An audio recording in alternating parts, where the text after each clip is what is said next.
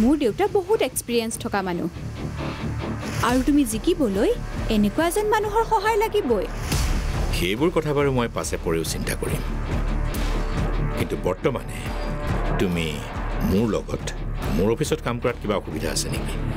আৰু তাইৰ দৰে এজনী বদমাছ মানুহৰ জালত পৰিবলৈ কিমান সময় লাগিছে? মই সেইবোৰ চিন্তা নাই কৰা।